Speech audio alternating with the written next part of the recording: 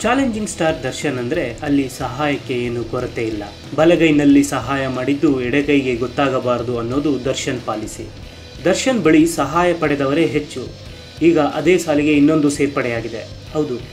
ಮಂಡ್ಯ ಲೋಕಸಭಾ ಚುನಾವಣೆ ವೇಳೆ ಸುಮಲತಾ ನಾಮಿನೇಷನ್ ರ್ಯಾಲಿಗೆ ಬಂದಿದ್ದ ಶ್ರೀರಂಗಪಟ್ಟಣದ ಕಿರಣ್ ಎಂಬ ವ್ಯಕ್ತಿ ರ್ಯಾಲಿ ಮುಗಿಸಿ ವಾಪಸ್ ಹೋಗುವಾಗ ಅಪಘಾತವಾಗಿ ತೀವ್ರವಾಗಿ ಗಾಯಗೊಂಡಿದ್ರು. ಈ ವಿಷಯ ತಿಳಿದ ಚಾಲೆಂಜಿಂಗ್ ಸ್ಟಾರ್ ದರ್ಶನ್ ಅವರ ಆಪ್ತ ಸಚ್ಚಿದಾನಂದ ಮೂಲಕ ಒಂದು ಲಕ್ಷ ಆರ್ಥಿಕ ನೆರವು ನೀಡಿದ್ದಾರೆ. ಇದೇ ಅಲ್ಲವೇ ದರ್ಶನ್ ಅವರ ಗುಣ ಅಂದರೆ